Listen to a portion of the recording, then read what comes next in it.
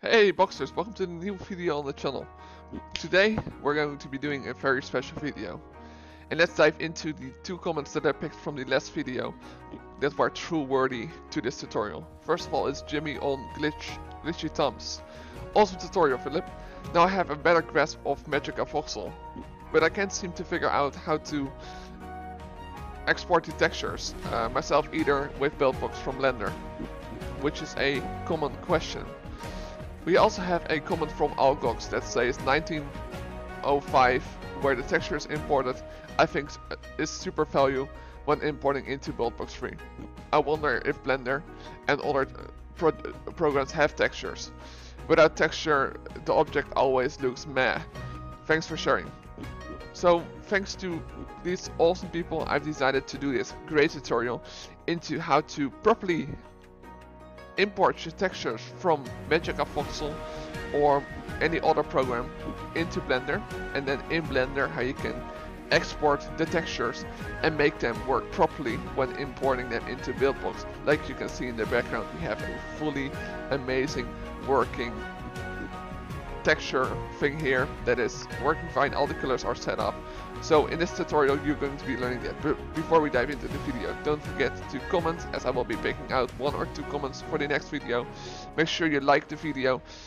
Subscribe to the channel if you haven't done so yet. Hit that notification bell so you're updated about all the upcoming videos for Saturdays, Wednesdays, Fridays and these kind of things.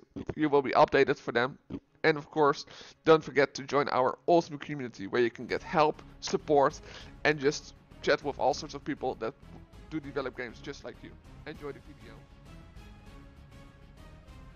So in this tutorial we are going to create a texture or actually work with a texture that we created in MagicaVoxel and then going to be importing into Buildbox the proper way. Uh, you can of course also use this in other engines like Unity or Unreal Engine or whatever you prefer, but I want to show you guys how to actually properly import textures. So I'm going to open a model here that I created in MagicaVoxel, um, and which I then created a texture for in Photoshop based on the texture output that was created in MagicaVoxel. So I'm going to import a OBJ. I'm to redirect to my MagicaVoxel folder where I'm to open this house that OBJ file. when it is imported, I'm to click N and I'm to go to my transform for my wall object. Because what I want to check is the exact size of my object, which is very nice. We now see that the textures are blank and I want to fix a couple things to be sure that this all works properly. So before we dive into these things, we're to go press tab and select this object here, this outer corner.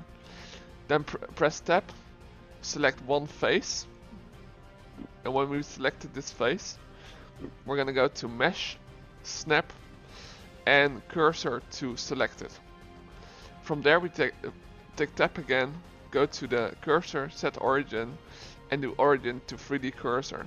This of course only works for this object, so let's do control or just press A then set origin, origin to 3D cursor. This will allow us to snap the object in, a, in the right manner. As an example, if I select A here, and I turn on the snapping settings, which is this little C-like icon, and I will start moving this around. So you can do this right here, but that doesn't work, so we want to do an other fix here, which is absolute snapping which will snap it around the grid right over here. What we're now going to be doing is creating the right setup. So if you go over to shading here, you will see that my shading already applies in the browser. It is working perfectly fine.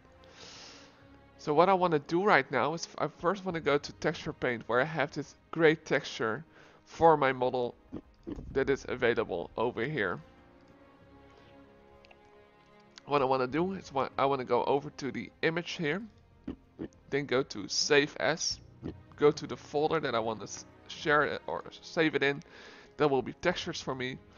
I will create a texture which is called house.png and save image as. I can go back over to layout, go to file, export, then export as OBJ go to my texture or tutorial folder, which is textures, and save this as house. And now we are going to be exiting out of Blender. Now that Buildbox is opened, we're going to go to new project here, create empty, and we're going to be needing to do a couple things. So we're going to delete the 2D world and we're going to drag in a 3D world and connect that to the load over there. Then we're going to go into the 3D world where we're then going to be importing our model by opening our tutorial folder, holding and dragging the house over to the object in this case. And then when we have the house we see that it's very small and you can resize that properly to whatever you want. In my case one of the things that I, I want to adjust here that I find think would be nice is going over to house and set the collision group to the platform so that it stays in place. Then I want to go over to the 3D model here and I want to go and select a texture over here. I can't just double click it or click on it. I need to go to my texture folder, create or select my house texture, go back into Buildbox and drag that in there. We now see that we properly aligned all the new textures for our model. So they are properly working, there's no issues, there's no colors that don't work, everything is working